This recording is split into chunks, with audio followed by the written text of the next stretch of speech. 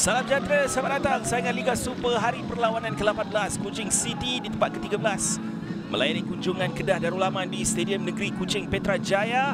Untuk pertembungan yang cukup menarik di antara Firdaus Murshidi dan juga Nafuzi Zain wakil dari uh, Pos Malaysia Muhammad Azwan bin Suhaimi dari uh, Pusat Serahan Mail Kuching B. Dan uh, beliau sudah pun berkhidmat sekitar 15 tahun berusia 37 tahun membantu membawa bola masuk. Membantu dalam memulakan kick off sebentar lagi peluang terbaik Kedah setakat ini. Manuel satu lagi Ifedayo berjaya untuk meletakkan kepalanya di hadapan kedudukan Mihailo Jovanovic. Tapi tidak dapat menghalakan on target itu. Betul sebenarnya Mihailo telah memberikan tekanan kepada Ifedayo untuk melakukan tandukan dengan lebih mudah. Uh, cukup baik daripada timing ataupun just body yang dilakukan oleh Mihailo kerana sepakan penjuru pula di near post percubaan daripada luar kotak penalti barangkali.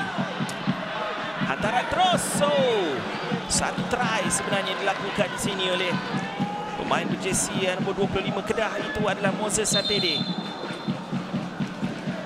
Mungkin sedikit hampa kerana dia mempunyai masa sebenarnya. Ya betul.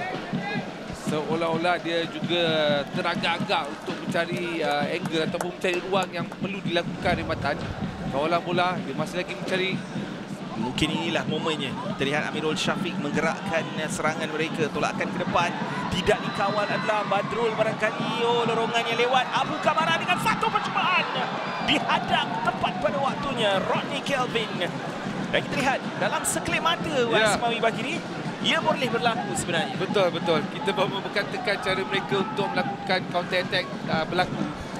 Kita lihat kedudukan tiga pemain berlaku. Uh, Abu Kamara, kemudian uh, Yuki buat antara satu dua. Delivery yang baik. Oh tidak dikawal Fatayo Tidak memerlukan Begitu banyak peluang sebenarnya Asmai Bakiri Ini mungkin baru peluang keduanya. Dan terus dia meledak dalam kedudukan yang baik. Right place at the right time.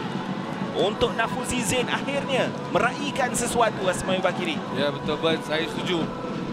Uh, tapi saya berikan kredit dulu kepada Hidalgo dengan rebatan ataupun hantaran melakukan uh, set piece uh, daripada sebagai penjuru ini. Uh, bola begitu laju.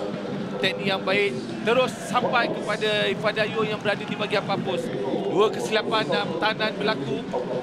Manuel Hidalgo cantik gerakannya di sebelah kanan Wan Amirul Afiq tandukan yang cuba dilakukan oleh Fayad Zulkifli percubaan daripada luar kotak penalti ada deflection Ifedayo ah.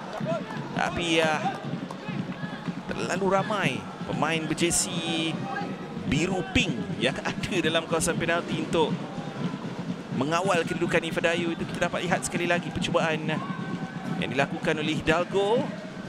Manuel Hidalgo sekali lagi near yang dicari ditanda oh bahaya kedudukan seketika dikeluarkan dalam pada Rodney Kelvin hampir saja. Dan kemudiannya Fazrul yang baru masuk hampir saja dapat meledak di situ satu rembatan dari luar kotak penalti. Tetapi mujur sekali lagi terus selamat pintu gol Kuching City FC set piece. Tandukan Abu Kamara. Dari luar kotak penalti Abu Kamara. Tandukan nyepus yang cuba dilakukan. Kalamullah terpaksa bertindak kerana dia tidak tahu sama ada ia akan masuk ataupun tidak. Mungkin uh, mengalami kecederaan pada waktu yang sama. Kita lihat semula Ya. Tandukan pada yang dimulakan oleh Abu Kamara. Second ball yang berjaya dilakukan oleh Diego Baggio untuk melakukan hantaran terus ke bahagian tengah. dan keupayaan fizikal uh, dan uh, perebutan di udara itu Ferreira Abu Kamara dengan satu percubaan akrobatik yang hampir saja dapat menguji Kalamullah tetapi melewati palang gol buat kali ketiga dalam babak kedua ini tiga percubaan yang dilakukan oleh Kuching City sekadar melewati palang gol Ya, tetapi apapun ini yang berlaku untuk set piece uh, Lutara ke dalam. Dan akhirnya whistle dibunyikan untuk memberi kelegaan kepada Nafuzi Zain yang akhirnya mencium rumput di Stadium Negeri Kuching di Petra Jaya Sarawak. Muktamad di Stadium Negeri Kuching. Kuching City kosong, Kedah Darul Aman 1.